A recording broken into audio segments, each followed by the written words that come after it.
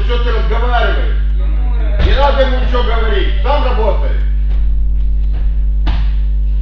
Заколебали разговорщики. Денис, разминайся, оставьте всех в покое.